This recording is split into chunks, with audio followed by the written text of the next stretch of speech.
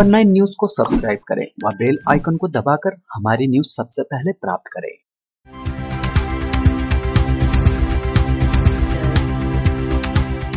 नमस्कार, आप देख रहे खबर नाइन और मैं हूँ आपके साथ प्रिया। आइए नज़र डालते आज की मुख्य खबरों पर। स्वतंत्रता संग्राम सेनानी पंडित मन्नालाल वैद्य की तिरपनवी पुण्यतिथि स्थानीय अरुणा पार्क में उनकी मूर्ति पर श्रद्धा सुमन अर्पित कर नमन करते हुए भावपूर्ण मनाई गई। पंडित मन्नालाल वैद्य स्वतंत्रता संग्राम सेनानी स्मारक संस्थान के सदस्य, पत्रकार विजय पांडे एवं संजय पांडे द्वारा आयोजित पुण्यतिथि कार्यक्रम में स्वतंत्रता संग्राम सेनानी मन्नालाल वैद्य को श्रद्धा सुमन अर्पित कर नमन करने वालों में भाजपा जिला अध्यक्ष सौरभ मिश्र नगर परिषद अध्यक्ष सुख सागर मिश्र, मधुर समाज सेवी अरुणेश वाजपेयी, पूर्व विधायक खालिद गोरी, पूर्व जिला अध्यक्ष कांग्रेस अजय सिंह, महेश मित्र मंडल संजय पांडे, आशीष सिंह, ममता पाल, शशि बाला, नेताम भारतीय सुधा तिवारी, सनातन धर्म इंटर कॉलेज के प्रधानाचार्य विमलेश सिंह राठौर, डॉक्टर प्रभात सिंह, रितेश मिश्रा, अजीत अवस्थी, ऋषि कुमार सैनी, आनंद गुप्ता कुलदीप शर्मा लक्ष्मी नारायण गुप्ता सहित सभी वर्गों के लोगों ने श्रद्धांजलि दी। वंदे मातरम राष्ट्र गीत के साथ कार्यक्रम का आरंभ तथा राष्ट्रगान के साथ समापन हुआ। यहाँ पर उपस्थित है हमारे चाचा रजनीकांत पांडे जी ने। उनका अपने पिताजी का एक कार्यक्रम, उनके पिताजी ज़रूर थे लेकिन ये हमारी धरोहर है हर दो जनपद की। उन्होंने इस कार्यक्रम को यहाँ पर शुरुआत की थी उनका मनाने के लिए। लेकिन आज वो भी हमारे बीच में नहीं है, मैं उनको भी नमन करता हूँ।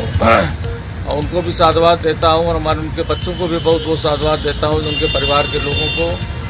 क्योंकि आज हम देख रहे हैं जहाँ तक कि उनके परिवार के लोग जो हैं अपने पूर्वजों को भूलते चले जा रहे हैं। ये बहुत अच्छी बात है, उनके जन्मदिन पर यहाँ पर सब लोग यहाँ पर इकट्ठा हैं। और हम उनके जो इनका कार्यकाल रहा, चाहे स्वतंत्रता संग्राम बंदाल आंदोलन रहा हो उसमें जो बढ़ चढ़ के इन्होंने हरदोई के नाम को रोशन किया है के चरणों में नमन करता हूँ, प्रणाम करता हूँ, और उन्होंने अपने जीवन में जो देश के लिए और समाज के लिए किया हम जितने भी लोग यहाँ पर उपस्थित हैं, उनका आचरण जैसा रहा, उसका अनुसरण करते हुए हरदोई के विकास में, हरदोई का वातावरण सही करने में, नई पीढ़ी को देश के लिए, समाज के लिए कुछ कर सके, उनके आचरण से सीख कर, बताने में और करने में। अगर कुछ विश्वास करेंगे तो उनकी पुण्यतिथि के अवसर पर सच्ची श्रद्धांजलि होगी। उनके दिखाए गए रास्ते पर चलने का संकल्प। उन्होंने आज़ादी की लड़ाई में अपने जिस जज्बे को दिखाया, मुझे ये कहते हुए गर्व हो रहा है कि उनके पुत्र हमारे आदरणीय चाचा जी, रजनीकांत पांडे जी और उनके पौत्रों ने भी उस जज्बे को, अन्याय और अत्याचार से लड़ने में कायम रखा है। ये उनकी विशेषता है और मैं उन लोगों के उस जज्बे को सलाम करता हूँ और उनके चरणों में अपनी श्रद्धांजलि अर्पित करता हूँ।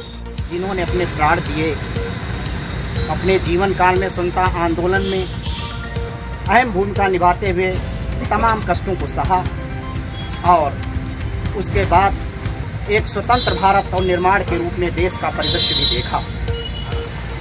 बड़ी प्रसन्नता है कि हम सबको इस महान गौरवशाली व्यक्तित्व के चरणों में नमन करने का अवसर अनुरत मिलता।